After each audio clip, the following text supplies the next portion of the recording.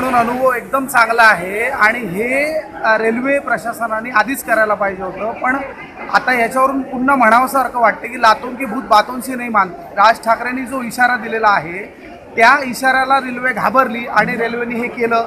हे आता हे आपल्याला लक्षात येतं आहे आणि हे रेल्वे प्रशासनाने हे रेल्वे प्रशासनाचं काम आहे. हे राज ठाकरेंनी धमकी देणं हा भाग वेगळा आहे. पण हेच सगळ्या मुंबईतल्या सगळ्या पंचवीस ते तीस जी उपनगरीय स्थानक आहेत त्या सगळ्या स्टेशनवर कारवाई केली असं वाटतं का तुम्हाला? मे बी हो.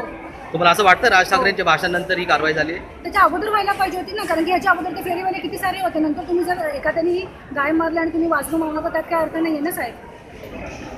ओव्हरब्रिज आहे हा थोडा तरी रिकामी आहे. ठीक आहे? पण रेल्वेवाले जागे झाले का? जेव्हा ही मोठ्या लोकांबरोबर दुर्घटना झाल्या काही गोष्टींमुळे काही लोक नाहक मारली गेली.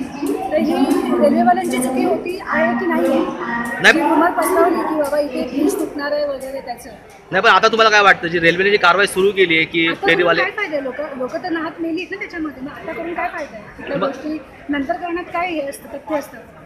नाही पण आता काय केलं पाहिजे असं वाटतं तुम्हाला? आता त्यांनी काही मोठी जी काही कामगिरी आहे ती केली पाहिजे जे लोकांना जे आता गरीब लोक मेले आहेत नाहक मेले आहेत त्यांच्या घरादारांना काहीतरी व्यवस्थित त्यांना देऊन वगैरे त्यांचं जे पण काय आहे ते त्यांना हे केलं पाहिजे मदत केली पाहिजे आणि खास करून जे सामान्य लोक आहेत त्यांना कशी मदत करता येईल हे रेल्वेवाल्यांनी पोलीसवाल्यांनी सगळ्यांनी एकजूट होऊन सगळी म्हणजे माहिती नाही पण. फेरीवाल्याचा जो प्रश्न आहे की फेरीवाले सगळ्या फुटओव्हर ब्रिजवर असतात किंवा अशा ज्या दोन ते नसले स्टेशन पाहिजे ना नसले पाहिजे त्यांना हटवलं पाहिजे कारण की त्यांच्यामुळे र- रहदारीवर किती गर्दी असते. लोकांना चालता येत नाही लोकांना नीट व्यवस्थित अं, जा- म्हणजे काही करता येत नाही.